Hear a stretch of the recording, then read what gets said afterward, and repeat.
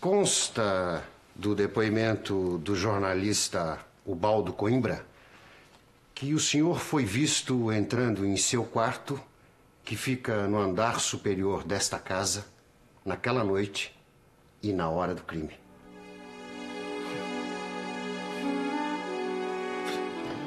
Pode ser que, o- que, que o Baldo tem razão, eu não, não me lembro. Parece, ele estava, ele estava certo, sim. Eu, eu, aquela noite, a festa, todo mundo confuso, eu realmente, eu entrei no meu quarto para para pegar os documentos para viagem. Mentiu no primeiro depoimento e está mentindo agora. Senhor inspetor, eu entendo que O senhor está preso.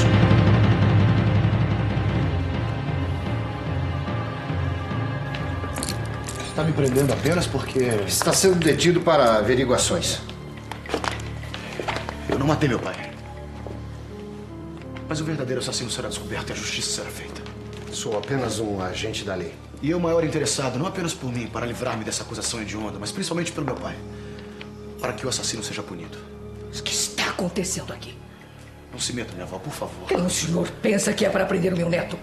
Um representante de Sua Majestade. Pois Sua Majestade certamente desaprovará esta, esta disfarçatez. Inácio da Silveira Sobral, um nobre, filho de um barão do Império. Por favor, minha avó. É para proteger gente com este rapaz que o senhor é pago com o soldo que sai desses bolsos. Mas onde está a soberania e o pulso firme de Dom Pedro? O seu neto está sendo detido para averiguações. Não há provas materiais de que seja o criminoso. Mas teve motivo. É dele a arma do crime. Mentiu no depoimento, contradizendo-se em seguida. Um Menezes de Albuquerque não mente. Assim como a senhora que disse que a vítima a adorava, quando é sabido que chegou a expulsá-la aqui desta casa. Não seria motivo para matá-lo? Assim como vê, são muitos os suspeitos. Que afronta! E, e Dalina, Dalina. Precisa mesmo levar meu marido? É o meu dever. Pelo amor de Deus! O Inácio agora é o chefe desta casa que está tão abalado por. A saúde desta senhora, nosso filho longe do pai, a vergonha, pelo amor de Deus, eu lhe imploro! Não adianta, Alice, não adianta. O senhor não pode fazer suas averiguações aqui mesmo? Precisa mesmo levá-lo? É um recurso que a lei permite. O senhor está cometendo um equívoco. Que provas o senhor tem contra ele? Todo cidadão é inocente até que se prove o contrário. Ele é inocente! Não pode levar o meu marido! Por favor. Por favor. Temos que respeitar o que o inspetor está dizendo. Ele é autoridade aqui. Eu não matei meu pai, sabemos disso. Tudo terminará bem. Meu irmão, fique tranquilo. Eu vou verificar se essa voz de prisão é legítima.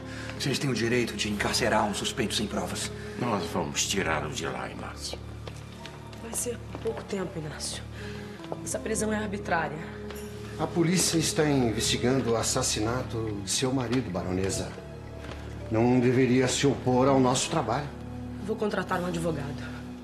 O melhor. Talvez contrate também um investigador para descobrir quem foi o assassino de Henrique. O homem certo, não o inocente. Não posso desproteger o filho do meu marido. Eu vou contratar os dois melhores juristas da corte. Trabalharão juntos. Porque a liberdade de Inácio é a justiça para Henrique. A senhora faça o que quiser, baronesa. Não, por favor, vocês não podem levar meu marido. A senhora fica.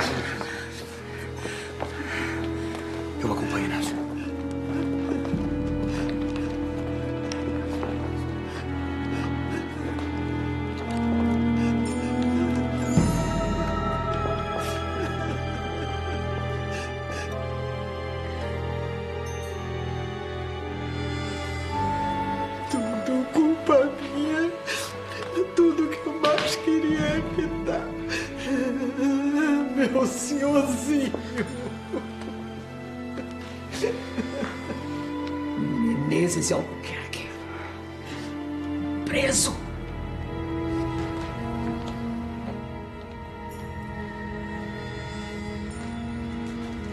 Pelo amor de Deus, Tereza, tire esse menino daqui! Tire meu filho da minha frente, que agora